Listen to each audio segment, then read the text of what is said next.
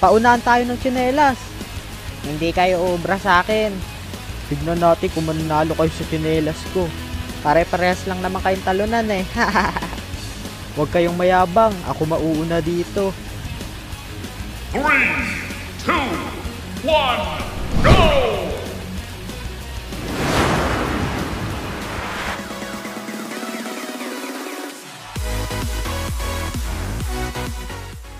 Zap guys! Hello! Kumusta kayo? Namiss ko kayo.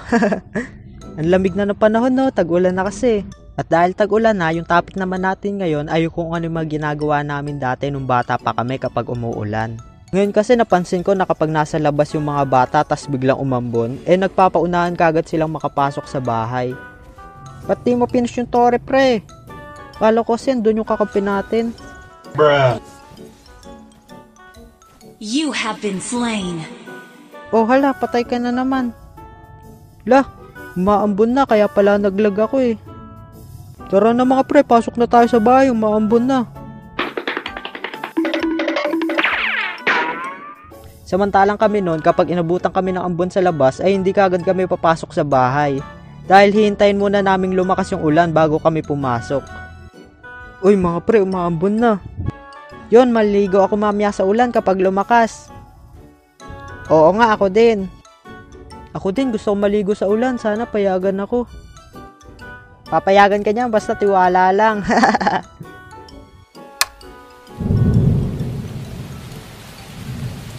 oh, mga pre, lumakas na yung ulan. Tara, magpaalam na tayo. Sige, Sige, tara, tara. tara. Sana payagan ako.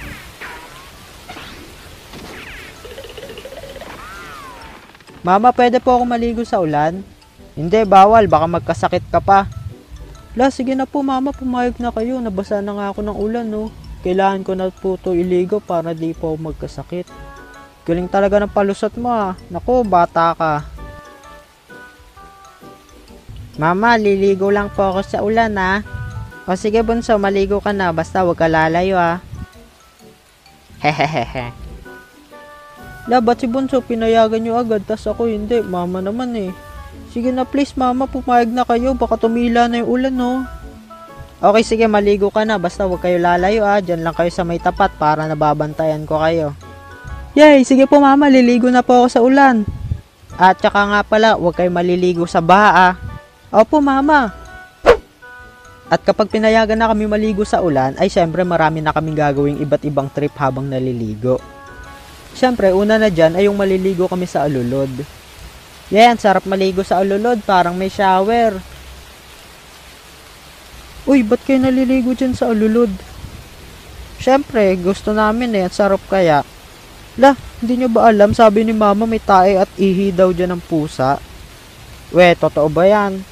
Oo nga, bahala kayo, magkakasakit kayo niyan. Ay, yak, ala, sige, hindi na kami maliligo dito sa alulod. Hehe, umalis na sila. Tayo naman maligo sa alulod. Yeah, ang sarap maligo sa alulod. Lah, mautak tong dalawang to. ah. Naisahan tayo. Haha, mga uto-uto.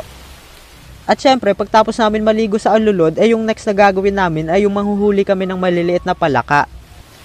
Mga pre, sino sasama sa akin manghuli ng maliliit na palaka? Yun, maganda yung naisip mo. Tara, sama kami manghuli ng maliit na palaka. A few inches later. Ayun na mga pre, maliliit na palaka. Tara, huliin na natin. O mga pre, huwag kayong maingay ha, para hindi tumakas yung mga palaka. Okay, pagbilang ko ng tatlo, huliin na natin. One, two, three, go!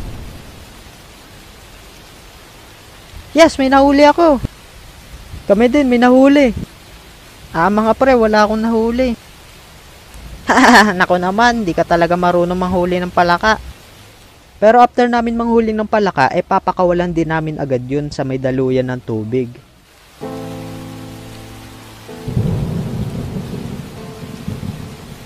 Matagal na ang pinagsamahan natin pero kailangan nating maghiwalay. Mamimiss kita. Hanggang sa muli nating pagkikita. Makapalaya na kayo.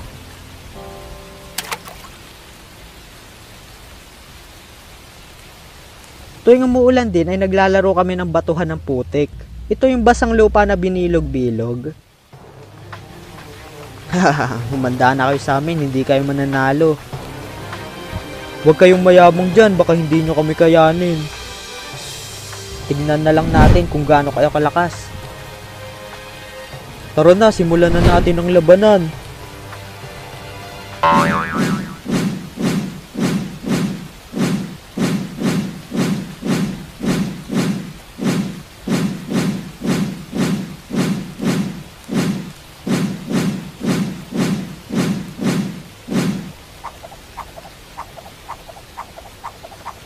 A few moments later.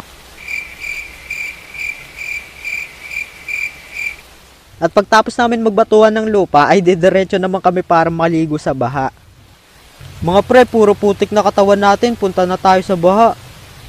Oo nga, tara, doon na lang tayo maghugas. Sigurado baha na, kanina pa malakas ulan eh. Tara, let's go!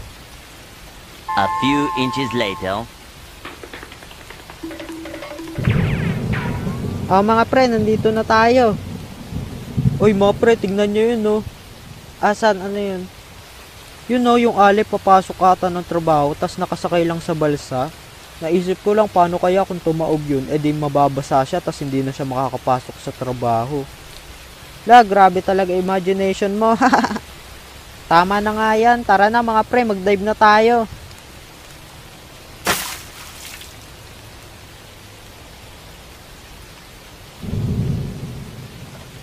Hoy, K9, ba't di ka nag-dive dito sa baha? Um, ayoko kasi maligo sa baha eh, baka kasi magkasakit ako. We, talaga ba? Hindi ka lang ata pinayagan ng mama mo maligo sa baha eh. La, pinayagan ako ah. Ayoko lang talaga maligo dyan kasi madumi dyan eh. At saka nga pala, huwag kayo maliligo sa baha ah.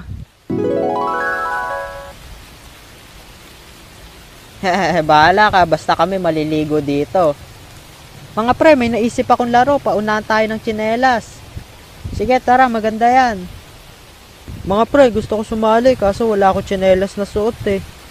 Humiram ka na lang muna kay K9, hindi naman siya makakasali eh. Lah, sa akin pa manghiram ah. Okay, pera muna ng tsinelas. Ayoko nga, baka mamaya iwala mo pa to eh. Hindi ah, iingatan ko yan, promise. Ay, sige na nga, oh ito, ingatan mo yan ah. Yun, ang bait talaga ni Kay. Tara na, simulan na natin to. Ako mananalo dito. Hindi kayo ubra sa akin. Walang makakatalo sa akin. 1, 2, 3, go!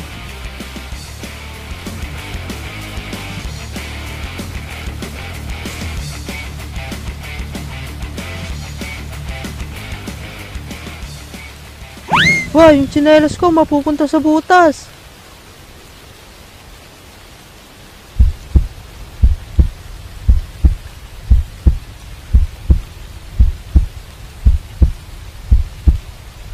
Hindi ito maaari. Patay, yari. Wow, yung tsinelas ko!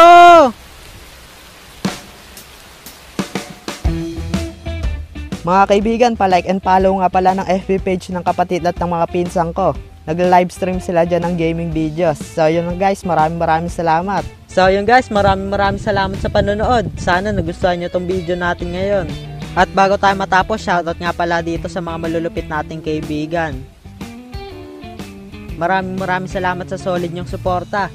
Do not forget to subscribe, like, and comment. See you sa next video. Okay, bye!